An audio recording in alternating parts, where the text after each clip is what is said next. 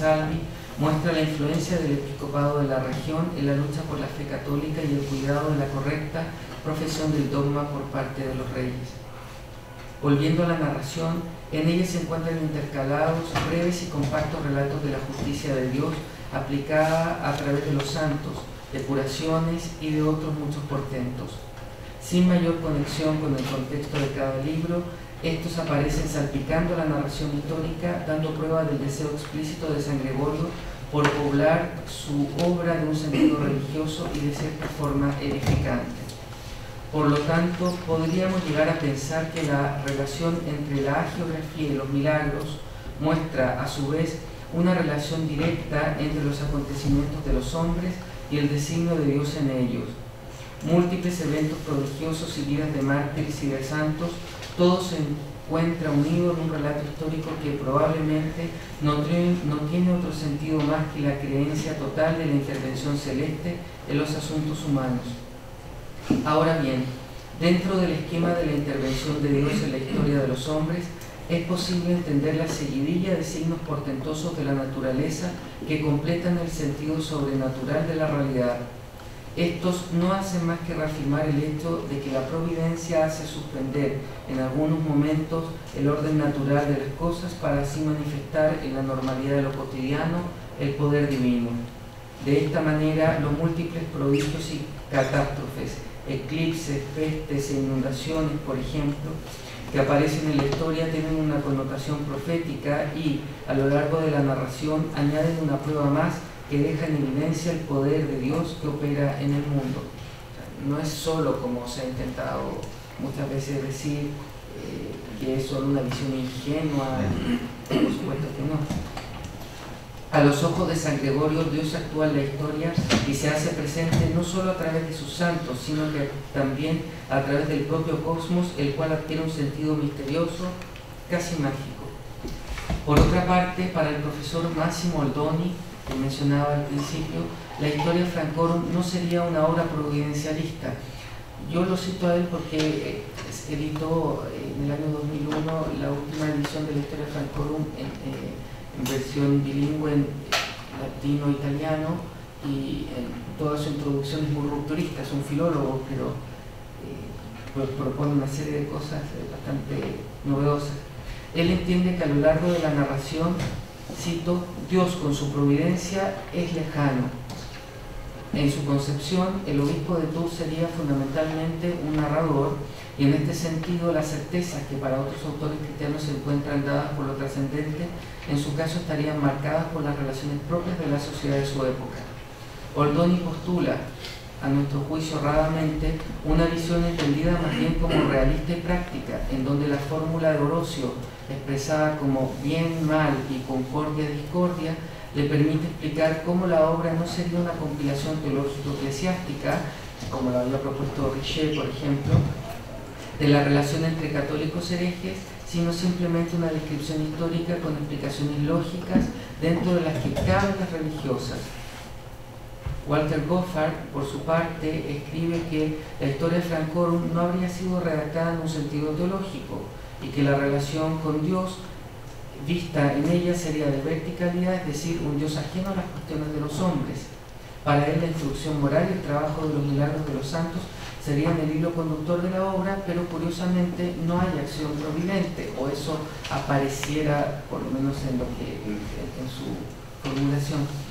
No obstante lo anterior, consideramos necesario insistir en que no hay, como algunos han pretendido ver, una contraposición entre una visión providencial de la historia y el proyecto historiográfico de San Gregorio. Si bien Goffard plantea que Gregorio presenta, por ejemplo, la encarnación, la encarnación del verbo como un hecho teológico y no de intervención divina, o sea, lo entiende como totalmente ajeno, diríamos, por tanto, no histórico, Creemos que no se puede obviar la idea del cumplimiento de las profecías en la plenitud de los tiempos, acontecimiento propio de una teología de la historia. Así también, si los santos obran milagrosamente, es porque un Dios providente se vale de la virtud de ellos para intervenir en la historia humana. En nuestra opinión, la lectura de la narración histórica del obispo turonense no tiene por qué oponerse a una visión de la, de la acción de Dios en el mundo si bien no nos encontramos frente a una obra en la que los presupuestos teológicos son los fundamentales, Esto no significa una ausencia de una cosmovisión providencialista de la vida. Sería absurdo pensarlo en un autor de la época. De esta manera, y a modo de ejemplo, resulta posible entender la descripción de Clodoveo como una cierta admiración política al fundador de la dinastía merovingia. Parece ser que no, ya que las palabras del turonense comunes al episcopado galo no apuntan sino a la idea de un hombre al que admira y también critica, el cual cuenta sin lugar a dudas con el favor de Dios en tanto que monarca converso al catolicismo.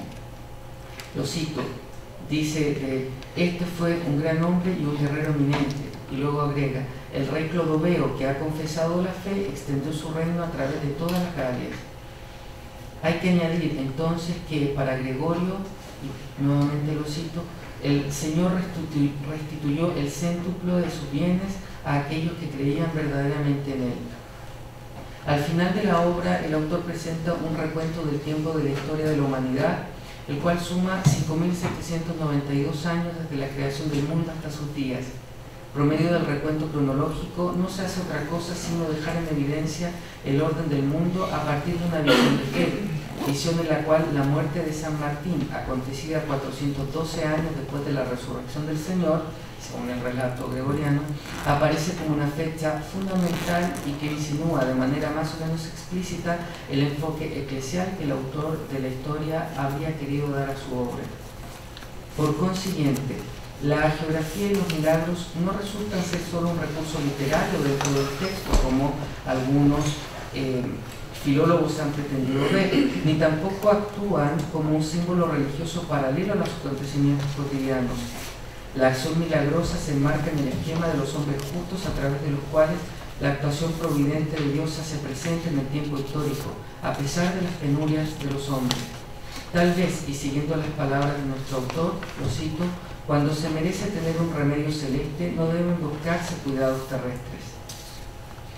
Si bien a partir del libro quinto San Gregorio señala los acontecimientos del reino merovingio desde su propia experiencia como obispo, el resumen de la historia bíblica presenta a lo largo del libro primero da al lector atento una mirada de la historia sagrada y sitúa los días del pueblo franco en un marco universal y cristiano. Luego, aunque la mayor parte de la obra relata anécdotas y situaciones coyunturales del reino en cuestión, subyace un interés por la historia eclesiástica y por la memoria escrita de esta. En consecuencia, consideramos que la fe de San Gregorio de Tours debe ser el punto de partida para una correcta lectura de su historia Francorum, lectura que conduce a una concepción de la providencia que ha actuado como guía de los acontecimientos de la historia del pueblo franco.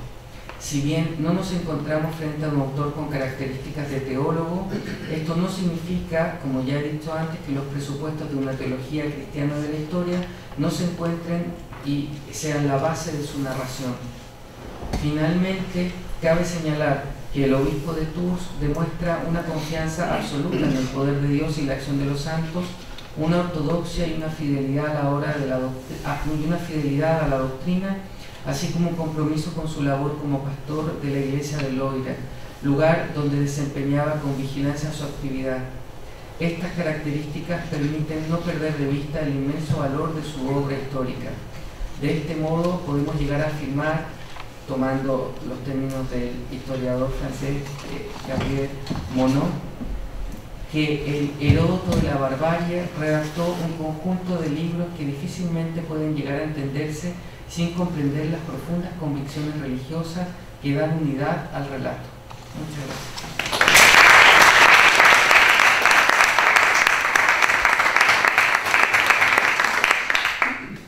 Gracias, Marcelo.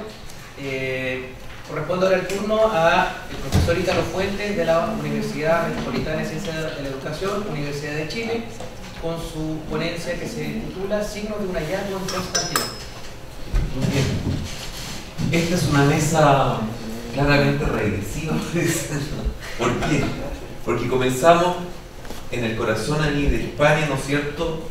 Baja y regresando ¿no hacia la alta edad media, un mundo continental, occidente, luego con Marcelo nos vamos al centro de esa formación, ¿no es cierto?, esa etapa de formación de Europa, eh, y también manteniéndonos en la continentalidad. Y entonces yo voy a terminar en el Mediterráneo, ya instalado en el ámbito eh, del mar, eh, pero hacia Oriente. ¿no? Podría haber sido al revés, pero en rigor también la historia se puede hacer de modo regresivo. La civilización helenística, desde la etapa formativa de la cristiandad hasta los lindes de la antigüedad tardía, hizo posible un mundo de circulación cultural, mestizo y ecuménico, con inclusiones orientales y bárbaras, de élites y plebeyos, en el horizonte del mundo mediterráneo. Allí fue posible el encuentro entre helenidades paganas y primigenias cristiandades. Así se pudo crear, en algunas circunstancias, un reconocimiento de la cultura antigua en cuanto a legítima herencia humanística y una búsqueda de argumentación teórica y política para un mensaje espiritual abierto cristiano.